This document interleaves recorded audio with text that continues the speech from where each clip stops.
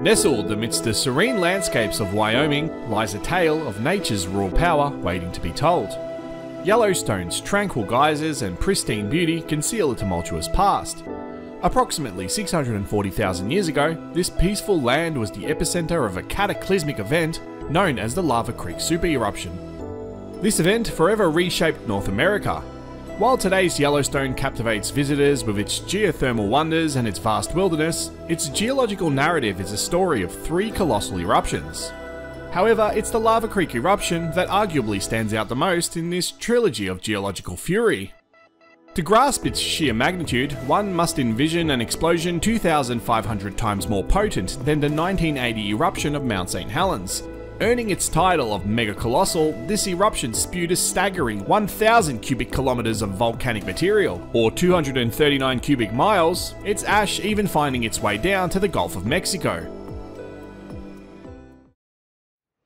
One of the most enduring remnants of the Lava Creek eruption is the tuff layer it released. This layer of consolidated volcanic ash, transitioning from hues of pink to muted greys, paints a vivid narrative of the eruption's scale and reach, Composed predominantly of rhyolite, it speaks of magma so viscous that its explosive release was nothing short of monumental. The eruption's aftermath was marked by layers of ash and the formation of the Yellowstone caldera, a vast depression measuring approximately 30 by 45 miles or 48 to 72 kilometers wide. This crater-like structure stands as a testament to the eruption's immense power resulting from the ground's collapse when the magma chamber emptied, Beyond its geological impact, the eruption's ecological footprint was profound.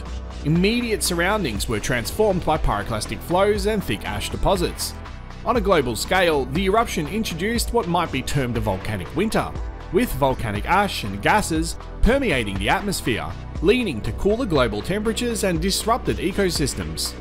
Nature, however, is tenacious. In the aftermath of such devastation, the region witnessed the emergence of resurgent domes, a testament to the continued influence of subterranean magma. Rhyolite lava flows signalled Yellowstone's enduring volcanic spirit, reminding us that this region remains geologically active. From the perspective of early humans, this eruption would have reshaped their entire world, as landscapes transformed and resources became scarce, adaptability became their lifeline, a testament to the resilience of life in the face of nature's fury. In the modern era, Yellowstone attracts millions with its beauty, but it also garners the vigilant gaze of scientists. Equipped with cutting edge technology, they monitor the region's every tremor and geyser eruption, ensuring we're prepared for any potential future geological events. As we reflect on the Lava Creek eruption, we're reminded of our planet's dynamic nature and the tales embedded within its very fabric. Such events emphasise the delicate balance of nature and the awe-inspiring, often humbling narratives waiting to be discovered. Our exploration of Earth's chronicles is far from over, and, as always, there are more stories waiting just beneath the surface. Thanks for watching.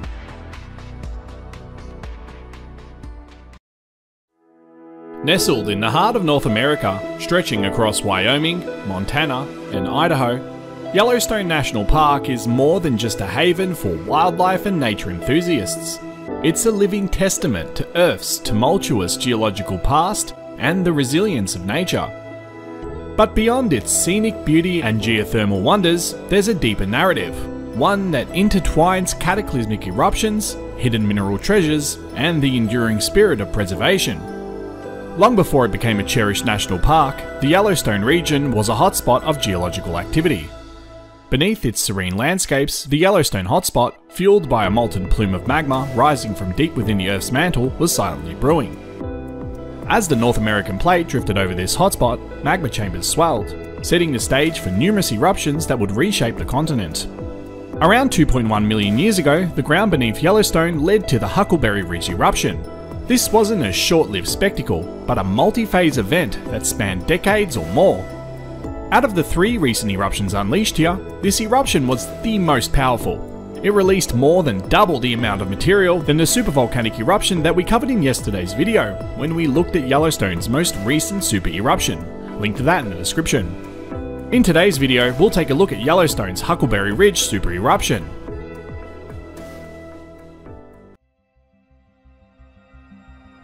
It's often said that Yellowstone has had three supervolcanic eruptions. This isn't true, only two have taken place here. Instead, the truth is that three caldera forming eruptions have taken place here. Yesterday, we covered the super eruption that released 1000 cubic kilometers or 240 cubic miles of volcanic material. Today's super eruption released more than double that. In the middle of the two though, another small eruption was strong enough to produce a caldera known as the Mesa Falls eruption. It only released an estimated 280 cubic kilometers or 67 cubic miles worth of tephra. If this went off today, we'd notice its effects in places far and wide. But the word only is used sparingly here, as this is powerful enough to affect the climate of the entire planet. If this went off today, we'd notice its effects in places far and wide. But back to the big one.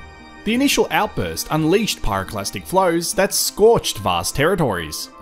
As the eruption evolved, the Huckleberry Ridge tephra, a vast expanse of volcanic ash and debris, was propelled into the stratosphere, eventually settling over a significant portion of what is now the United States. This ash layer, still evident in geological formations, is a silent reminder of the eruption's magnitude. The climax of this volcanic event birthed the original Yellowstone caldera, a depression that captures the essence of the park's volatile past. This occurred when the magma chamber became unstable after much of it was released during the eruption, leading to a significant collapse as the earth above filled the void. In the immediate aftermath, the region resembled an alien landscape, with an entirely new topography. But nature, in its timeless way, embarked on a journey of healing and transformation. The nutrient-rich volcanic soil breathed life back into the land, paving the way for the thriving ecosystems we witness today.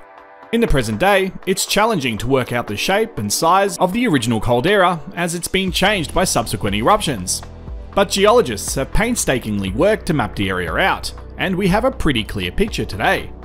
The caldera from this eruption is referred to as the Island Park Caldera. 2,450 cubic kilometers or 590 cubic miles of material is thought to have been unleashed during this event, making it one of the largest known eruptions in the Yellowstone hotspot's history. The volcanic winter would have been a harrowing event to have lived through, lasting for years to decades in length, due to just how much solar reflecting aerosols were pumped into the stratosphere by the ash plume, only for it to be spread planet wide by the trade winds. But Yellowstone's story isn't just about its volcanic roots. The park is a treasure trove of minerals, from the rhyolite and obsidian formations that hint at its fiery past, to the geothermal display of sulfur-laden fumaroles and the cascading travertine terraces of Mammoth Hot Springs, Yellowstone is a geologist's dream. Recognizing the region's unparalleled geological and ecological significance, the US government, in a visionary move in 1872, declared Yellowstone a national park, and it was the first of its kind planet-wide.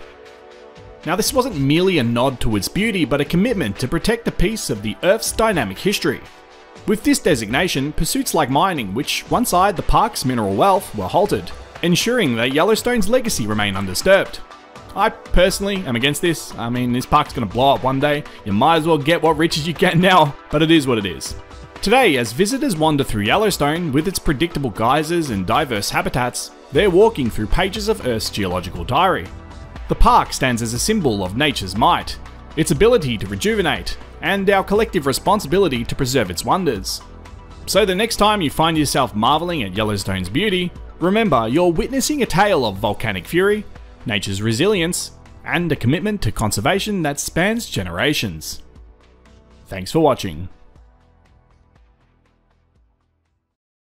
The roads around the Yellowstone National Park are somewhat unsurprisingly melting.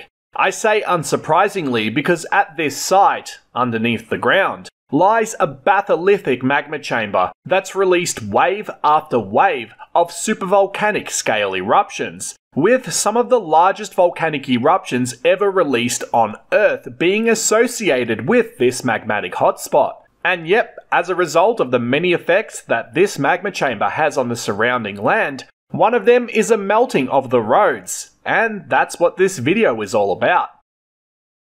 The hotspot responsible for the Yellowstone supervolcano had originally been located underneath the Pacific Ocean, but as the North American tectonic plate drifted further and further west, it eventually passed over this magmatic hotspot, sparking a wave of supervolcanic eruptions that would consist of dozens upon dozens of calderas existing in present day, dotted from the southwest and slowly moving all the way to where the Yellowstone hotspot is located in present day.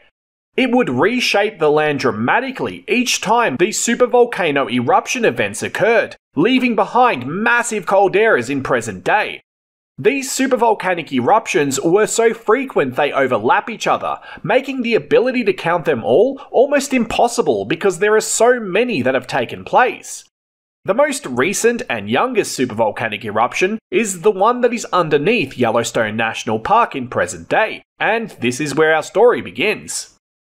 As most people know, Yellowstone has a remarkable amount of hydrothermal activity that is taking place in present day. Water that was released by past rains slowly seeps into the ground until it reaches the bedrock underlying Yellowstone, where it then becomes superheated by Yellowstone's batholithic magma chamber.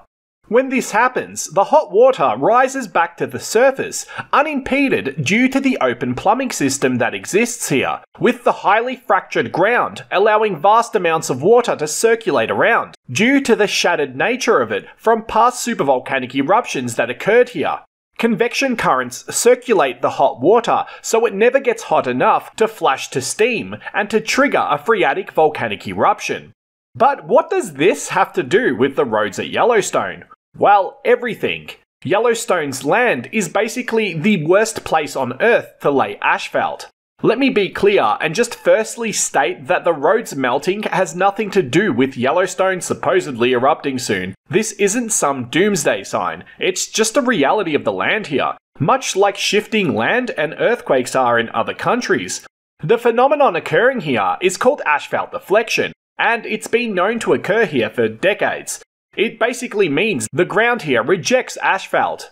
The abundant hydrothermal activity makes the surrounding ground pretty damn hot, and laying asphalt directly onto a hot surface like this is a recipe for damage to occur, especially during summer, when the thin strip of asphalt that is the road would essentially be baked from beneath by the hydrothermal water and from above by the hot sun, turning it into a semi fluidic, rubbery consistency. If the road heats up substantially, the asphalt loses its solid consistency and actually begins to flow more like silly putty. This can lead to it sticking onto car tyres, and the road itself twists, warps, and loses shape. Potholes form along with ripples, and the road becomes unusable whilst hot. So, if you're thinking of going to Yellowstone, maybe go there in the winter months, unless you want a memento from your visit there to be in the form of asphalt laden tyres.